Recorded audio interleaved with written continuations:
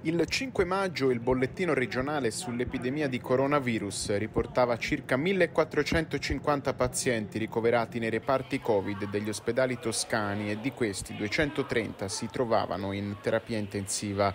A un mese di distanza ce ne sono mille in meno. Oggi i posti letto Covid occupati sono in totale 407, di cui 96 di terapia intensiva. È questo il dato che meglio racconta un'emergenza ancora non terminata, ma certamente riportata a un livello di più facile gestione per la sanità toscana impegnata nella battaglia al virus. Un conflitto nel quale l'arma più potente sono i vaccini.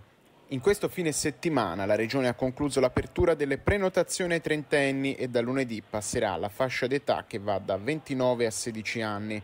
Da questo sabato è inoltre attiva sul portale Prenota Vaccino la finestra dedicata ai circa 30.000 studenti che devono affrontare l'esame di maturità e che godranno di una corsia preferenziale e mentre i vaccinati aumentano, i numeri del contagio scendono. La vaccinazione va avanti, va avanti spedita bene e contemporaneamente diminuisce quello che ci ha condizionato negli ultimi 15 mesi. Eh, pensate che in sei giorni non si arriva a mille contagiati. Eh, la Toscana si rivela in questi giorni una delle regioni nelle quali possiamo ripartire con il turismo, con le nostre attività relazionali. I nuovi positivi scoperti nelle ultime 24 ore sono 154 con un'età media di 36 anni anni e rappresentano il 2,6% dei soggetti sottoposti a primo tampone.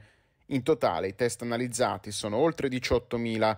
La provincia di Firenze ancora una volta fa segnare il maggiore incremento dei nuovi contagiati, sono 38, seguita da quelle di Pisa, 23, e Prato, 20, mentre in provincia di Massa Carrara se ne conta uno soltanto. Attualmente sono 6.147 i malati di Covid in Toscana, Oltre ai ricoverati ci sono 5.740 contagiati in isolamento a casa, asintomatici o con sintomi lievi, mentre le persone isolate per aver avuto contatti con dei positivi sono 16.098. Il bilancio dei decessi parla di altre 8 persone che hanno perso la vita, 3 uomini e 5 donne con un'età media di 79 anni, che portano a 6.749 il totale dei morti dall'inizio dell'emergenza sanitaria.